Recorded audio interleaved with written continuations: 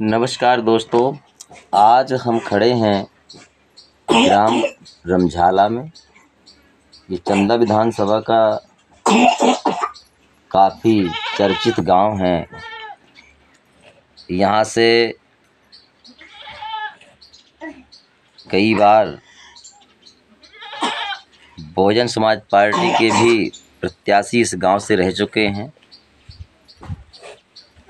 और जहाँ की बात मैं बता पा रहा हूँ आपको, हम खड़े हैं एक अनुरागी समाज का घर है, जहाँ एक और केंद्र सरकार यह दावा कर रही है कि 2022 तक एक भी मकान भारत देश का बिना छत के नीचे कोई परिवार नहीं सोएगा।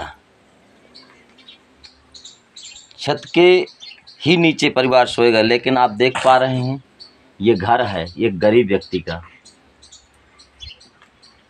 कोई रोज़गार नहीं, धंधा नहीं, ज़मीन भी बता रहे हैं कम है। उससे गुजारा पसारा नहीं होता उनका।